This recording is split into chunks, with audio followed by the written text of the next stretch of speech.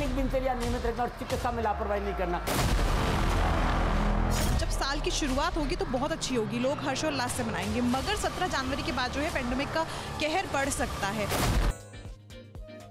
सिंह राशि की बात करूँ सिंह राशि वाले उनके जो राशि अधिपति सूर्यदेव वर्ष प्रारंभ में पहले ही दिन अपनी मित्र राशि अपनी मित्र राशि जो बृहस्पतिदेव की मूल त्रिकोण राशि धनु है, बुद्धदेव के साथ बुध आदित्य योग में संचरण करे। तो शनिदेव स्वराशि मकर में छठे भाव में संचरण करे।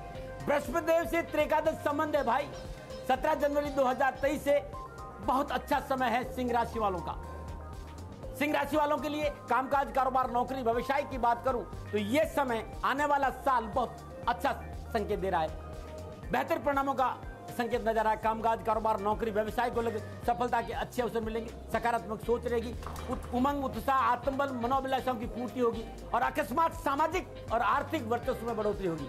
मेरा ये अनुभव है, सिंह राशि वालों के लिए जीवन के रूपांतरण का समय 2023 रहेगा। अकस्मात बहुत सी घटनाएँ घटेगी और आपके जीवन जीने के तरीके में परिवर्तन आएगा। धन के दृष्टिकोण से सिंह राशि वालों के लिए 2023 उत्तम रहेगा।